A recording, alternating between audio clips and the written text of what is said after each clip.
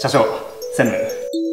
情報セキュリティ強化週間の最終日である本日セキュリティコンサルタントの田口さんをお招きしこれから標的型サイバー攻撃メール訓練を行います。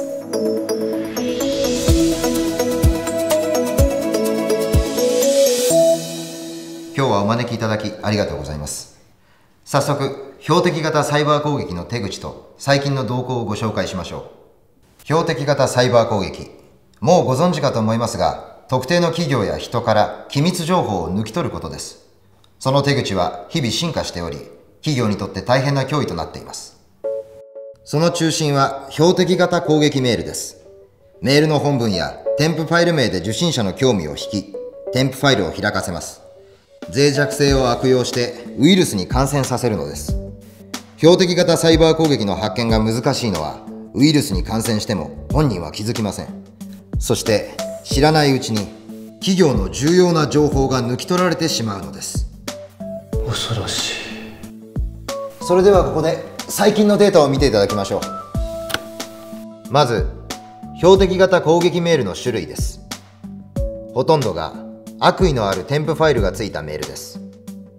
メールの本文中に URL リンクを記載しそのサイトからウイルスを感染させるケースもあります中心となる添付ファイルの種類を見てみましょう。実行ファイルがほぼ半数。Office 文書ファイルが約30%を占めています。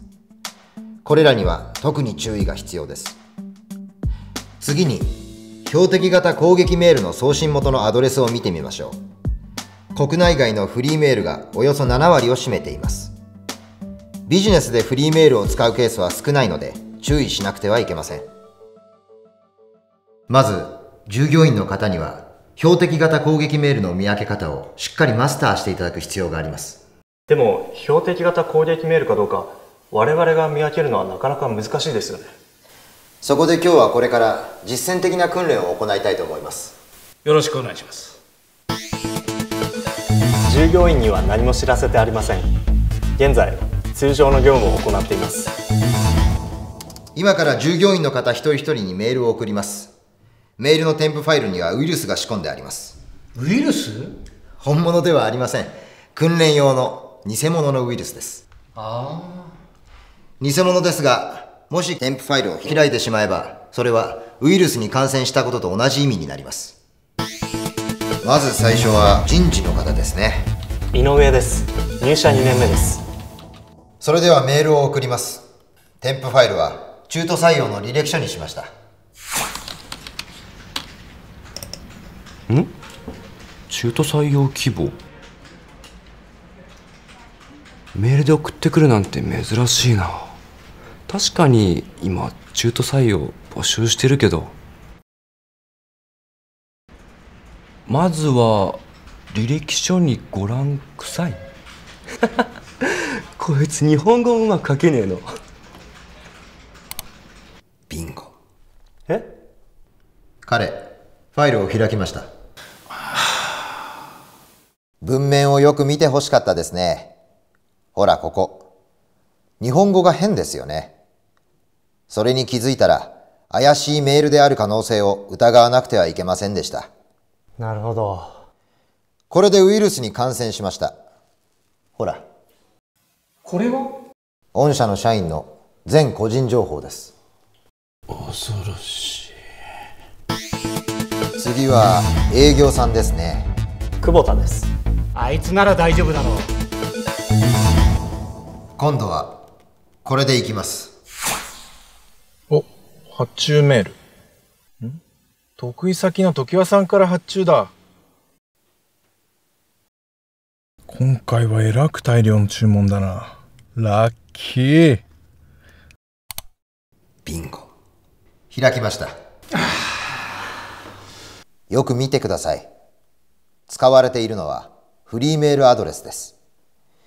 企業間取引でフリーメールを使った注文が来ることはまずないので気づくべきでした。これで御社の顧客名簿が全て流出します。次は技術部ですね。江ノ島です。あいつは優秀だからな。今度は英語で言ってみましょ新製品の問い合わせかあれ？聞いたことない会社だなまあ問い合わせには速攻で答えるのがうちのモットーだからビンゴ。よく見てください。差出人と本文のアドレスが違います。添付ファイルの圧縮形式も見慣れないものには注意が必要です。これで、御社の技術情報が抜き取られます。大丈夫。暗号化してやるから。そのパスワード、メールに記載されてますね。次は、システム部です。SE の篠田さん。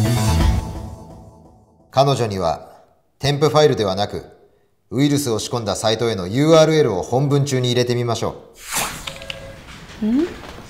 これ怪しいああシステム管理者を装った標的型攻撃メールね。至急みんなに知らせないと。あ篠田さんから一斉メールが来ました。今来たメールには気をつけるようにと。うおおじゃあこれは？セキュリティ注意喚起？今のメールについてね手口解説の添付ファイル？ビンゴ。開きました。全滅だよ。油断大敵ですね。標的型攻撃の対策はまず従業員の皆さんが不審なメールに気づくことから始まります。そこで攻撃対象であることを認識し組織内でしっかり情報共有をし分析を行うことが必要です標的型攻撃は長期にわたることが多いので組織的な体制を準備しその体制を維持していかなくてはいけません。我々はまず何から始めればいいですか？1ソフトウェアを最新に保つ。2ウイルス対策ソフトを導入し定義ファイルも常に最新の状態にする。3添付ファイルを安易に開かない。本文中の URL を安直にクリックしないこの3つはまず行ってください。あとは従業員の意識改革ですね。一人の安易な判断で会社全体を危機に陥れることを全員が認識することです。標的型攻撃メールは一人でも気づくことができれば他の人に届いた標的型攻撃メールも発見できる可能性が高くなります。そのため不審なメールに気づいた人は組織で定められている運用ルールに従い速やかに情報を集約している窓口に報告することが重要です。社員の意識を高めるためにも本日の訓練は大変有意義だったと思います。彼らがどのように判断しどのように行動をとったかをしっかりと検証し他の従業員とも共有して組織全体の訓練として活用してください。ありがとうございました。本日は本当に勉強になりました。またお願いしますこちらこそ。すみません。車がパンクしてて遅れました。ということは？今の時代人もメールもまず疑ってかからないとね。IPA では標的型攻撃に関するさまざまな資料をご用意しています。ぜひ対策にお役立てください。また IPA では情報セキュリティマネジメント試験を行っています。企業秘密を取り扱う業務の方が備えるべきスキルを認定する試験です。ぜひ本試験を受けこれからの企業活動にお役立てください。私たち IPA は誰もが安心して暮らせる頼れる IT 社会の実現を目指します。